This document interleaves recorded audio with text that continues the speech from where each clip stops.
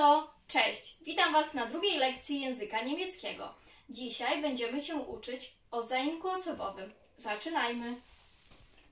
Zaimek ich w języku niemieckim oznacza ja. Du, czyli ty. Er, czyli on. Sie oznacza ona. Es, czyli ono. I teraz liczba mnoga.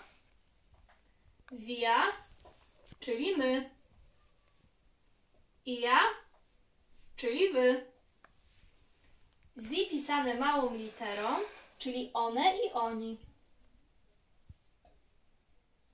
I na, na koniec forma grzecznościowa, czyli sie pisane dużą literą, czyli pan, pani i państwo.